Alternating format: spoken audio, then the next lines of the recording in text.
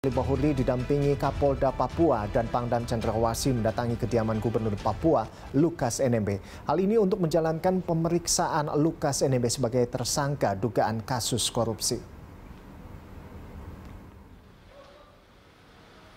Sebelum menuju kediaman Gubernur Papua, rombongan menggelar pertemuan tertutup di ruang Kapolda Papua.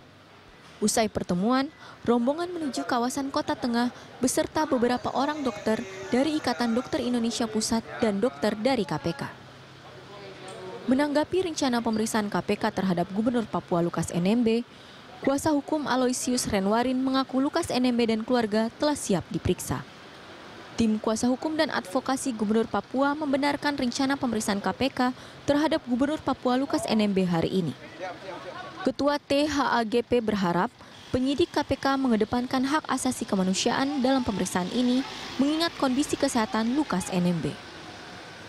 Terkait kasus korupsi Gubernur Papua Lukas NMB, Komisi Pemberantasan Korupsi telah memeriksa 50 saksi dalam penyidikan kasus dugaan suap. KPK telah menetapkan NMB sebagai tersangka dugaan korupsi anggaran pendapatan dan belanja daerah APBD serta gratifikasi sejak 5 September 2022 lalu.